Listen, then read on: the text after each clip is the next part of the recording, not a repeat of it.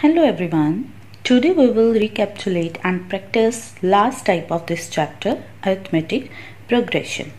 As earlier we have done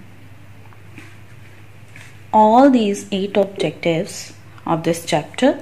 Today we will continue with our ninth objective that is find sum if number of terms are given of an AP.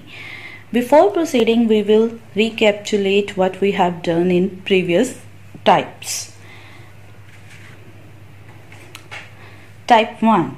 When we have to find general term or nth term of an AP. We have three steps. Step 1. Write given values of the terms. Step 2. To find common difference.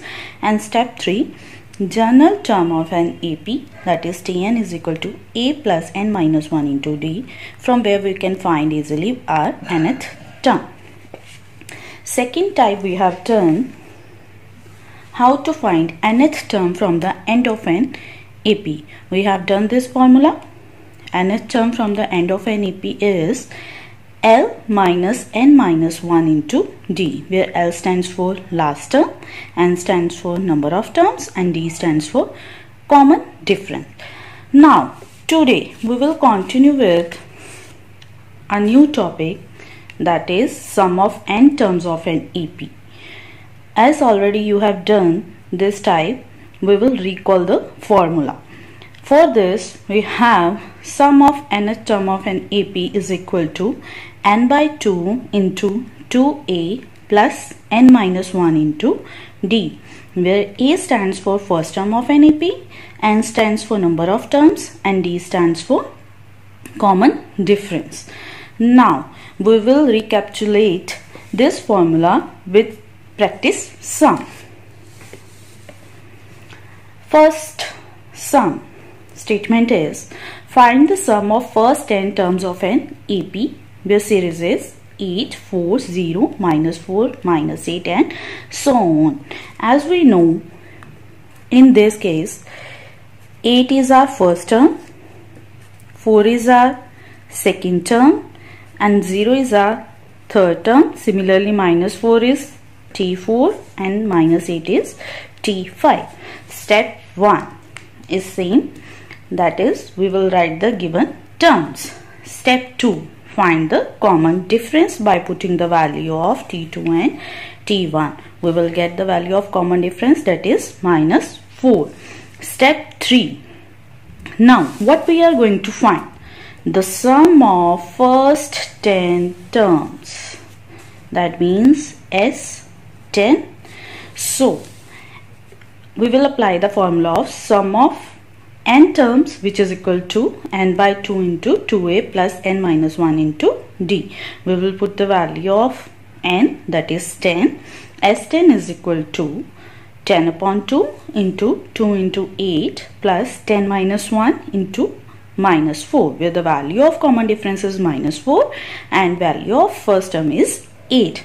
By solving it what we will get sum of 10 term that is, is equal to minus 100. Now one more type of this sum that is find the sum of first 30th term of an AP whose second term is 2 and seventh term is 22.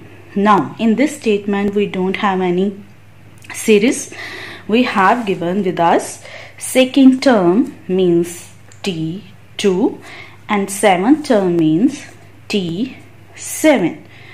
Two terms are with us. Now what we are going to find? Sum of first 30th term. First 30th term means S30. Now T2 is equal to 2, T7 is equal to 22. What is the general term of an AP? That is Tn is equal to A plus n minus 1 into D. We will apply the formula on both sides. We'll put the value of n is equal to 2 on left side and n is equal to 7 on right side. By solving we will get two linear equations with two variables. Now we already done this type of sum. We will solve it by elimination method. As the both variables are same, so we will apply elimination by subtraction. Now by solving what we will get value of d. Value of d we will get is equal to 4 as minus 5 will go on that side it will divide then d is equal to 4 by substituting in e equation 1 or in equation 2 we will get the value of a also. Similarly we will put here and we will get the value of a that is minus 2 now what we are going to find? Sum of first 30 term that means s is equal to 30 for this what is required? Value of first term and value of common difference. As we have found now we will put here. S30 which is equal to 30 upon 2 2 into minus 2 plus 30 minus 1 into 4 by solving this we will get the value of s30 which is equal to 1680 that means sum of 30th term is 1680 hope this type is also understood to all of you as this is the last type of this chapter. So student you will get a worksheet or practice worksheet in your snap homework based on this chapter. Hope you will able to do these sums. Thank you